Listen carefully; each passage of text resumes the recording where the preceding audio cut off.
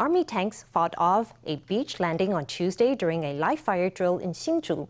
This was the opening of a four-week annual exercise launched this year to improve the independent combat capabilities of basic units. Two tank platoons were chosen from across the nation to participate. Let's see them in action. The sound of artillery rings through the sky. Two CM-11 Brave Tigers destroy their target, giving cover to troops as they relocate. At the other end of the field, four M60A3 battle tanks secure the advantage of high ground. They unleash bursts of firepower to destroy enemy troops making a landing on the beach. This was a drill to improve the independent combat capabilities of basic tactical units.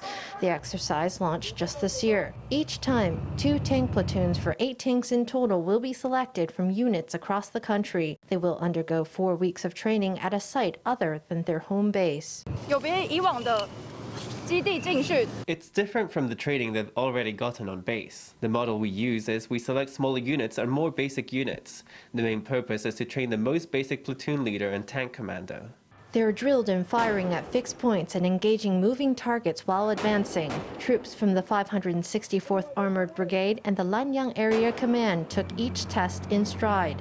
Along the way, they ran into a mechanical snag as their armor-piercing training ammunition failed to fire.